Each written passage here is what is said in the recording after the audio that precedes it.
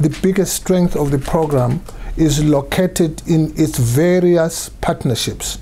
Civic organizations uh, work with parliamentarians, work with uh, uh, universities, work with the uh, women's movement, work with uh, the traditional leadership, work with um, um, war veterans, work with every other organized entity that has a stake in ensuring that the sector is at the service of the generality of the people of Zimbabwe. You cannot ignore the organized and mobilized uh, uniformed forces across the board. Uh, you have to have their buy-in. It's important to have their support.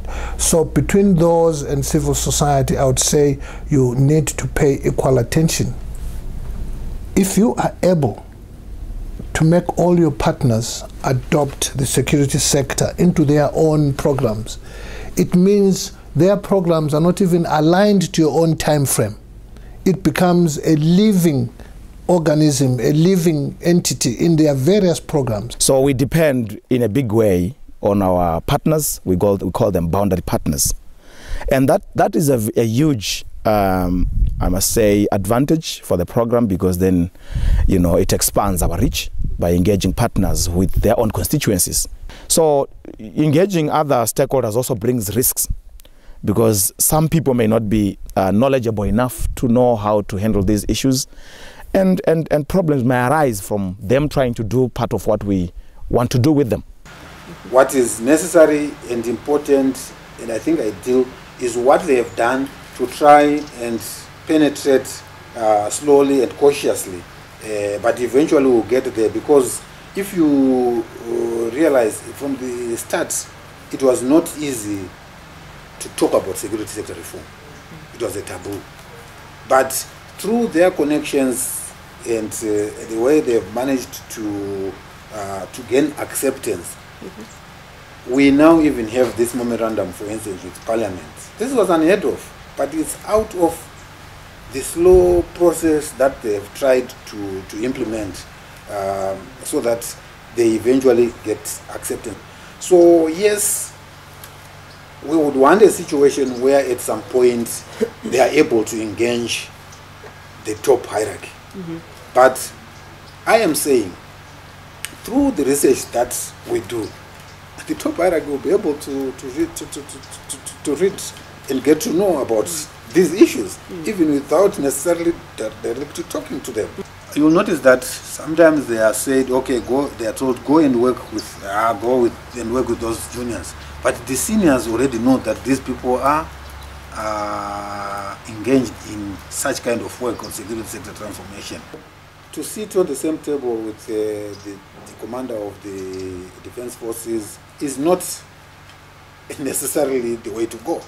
Mm -hmm. But to ensure that what you produce, what you do, is perceived as being in the national interest to bring them closer to the public would be through the public uh, hearing systems where parliament is uh, is there i have seen them um, softening up to parliament uh, the security sector i'm sure that is another step which can be taken because they seem now to be warming up to parliament and as we continue especially with the harmonization of the of the um, laws to the constitution mm -hmm. which is currently going on there is more public hearings that will be taking place their involvement in that will bring closer the the ZPSP parliament and the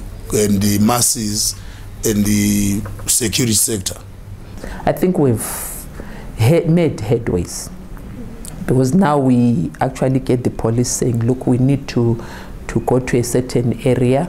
Um, are you able to, to introduce the subject on our behalf?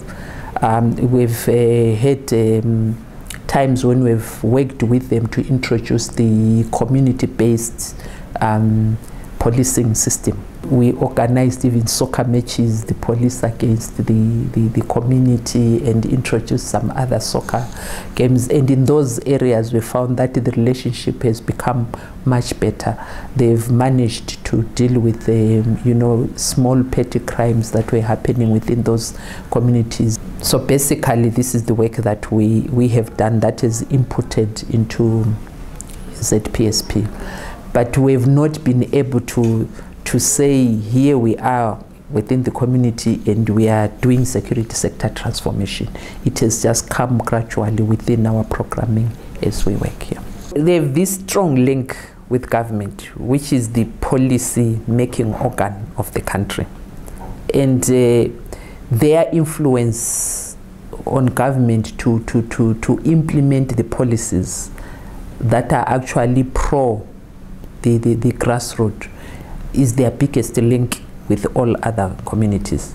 I think as organization we've always wanted that direct link with government that is not confrontational and ZPSP actually provides that link that does not bring confrontation. We know that most of us NGOs, CSOs have been viewed as, as regime change organs. However, ZPSP has always managed to remain outside the circle of regime change um, people, and that link has also helped to to, to, to authenticize the, the other um, NGOs or civil society organizations that are working on the ground. As we work, I found that the, the interaction is at a very high level. Uh, it has not been easy in Zimbabwe to get the chiefs to work with any organization. Later on, one that talks about uh, uh, transforming a whole armed force because the chiefs have been very closely aligned with um, with government and with ZANU PF in particular, and they've got their own stake to provide to to protect, and that close link and working with them has been a very very big step forward. The ZPS at the moment is very small. They need to go into the key institutions in a bigger way than they are doing now. 75% of the population of this country is directly under the, traditional leadership. That's very important. But like I've just said, they have not even covered of the the top level of the leaders. They have not covered even uh, if I say chiefs, they have not done even half of that.